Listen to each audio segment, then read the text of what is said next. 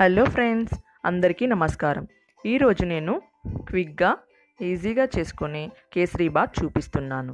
ఈ కేసరీ బాత్ని పండగ రోజుల్లో పదే పది నిమిషాల్లో తయారు చేసుకోవచ్చు. ఈ రవ్వ కేసరిని ఎలా తయారు చేసుకోవాలో చూద్దాం. ఒక cup fine rava two cups sugar half cup నెయ్యి ఇలాచీ పౌడర్ హాఫ్ స్పూను ఎండు ద్రాక్ష కొద్దిగా గోడంబి కొద్దిగా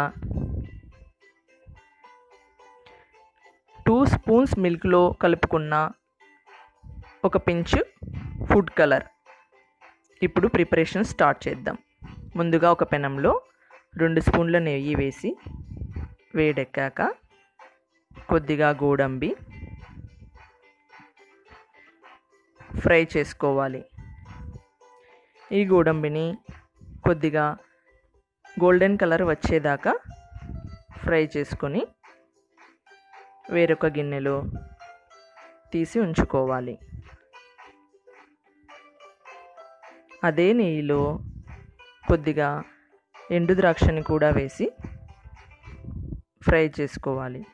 ఇవి కూడా కొద్దిగా కలర్ చేంజ్ అయ్యాక వేరొక గిన్నెలో పెట్టుకోవాలి. ఇప్పుడు మరొక స్పూను నెయ్యిని యాడ్ చేసి ఒక కప్పు రవ్వని కూడా వేసి సెవెన్ టు ఎయిట్ మినిట్స్ ఈ రవ్వని లో ఫ్లేమ్లో బాగా ఫ్రై చేసుకోవాలి. వేరొక పెనంలో ఒక కప్పు రవ్వకి రెండు కప్పుల వాటర్ని తీసుకొని ఆ వాటర్ బాగా మరిగేంత వరకు ఉంచాలి. ఆ మరుగుతున్న నీళ్ళని ఫ్రై చేసుకున్న సూజీ రవ్వలో కొద్ది కొద్దిగా వేసుకుంటూ అంతటిని మిక్స్ చేసుకొని రెండు నిమిషాలు లిడ్ పెట్టి వెయిట్ చేయాలి. ఇప్పుడు ఆ వాటర్ని అంతా రవ్వ అబ్జర్వ్ చేసుకొని ఉంటుంది. ఈ స్టేజ్లో మనము టూ కప్స్ షుగర్ని రవ్వలో అంతా బాగా కలిసేటట్టు కలుపుకోవాలి.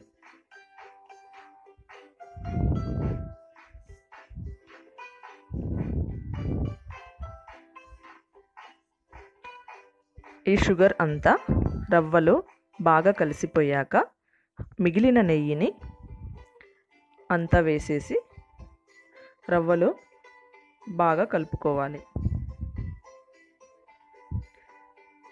ఈ రవ్వ అంతా పెనంకి అంటుకోకుండా నెయ్యి బయటకు వచ్చేదాకా మంచిగా కలుపుకోవాలి.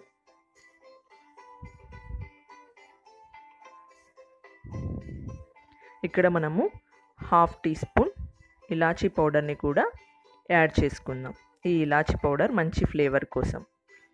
ఇందులో ఫుడ్ కలర్ని కూడా యాడ్ చేసి మొత్తం కలిపేసేయాలి. ఇప్పుడు డ్రై ఫ్రూట్స్ని హాఫ్ వేసి హాఫ్ గార్నిషింగ్ కోసం పక్కన పెట్టుకుందాం. అంతేనండి. Rava kesari ready to serve. ఈ వీడియో మీకు నచ్చినట్లయితే లైక్ చేయండి షేర్ చేయండి సబ్స్క్రైబ్ చేయండి. Thank you for watching.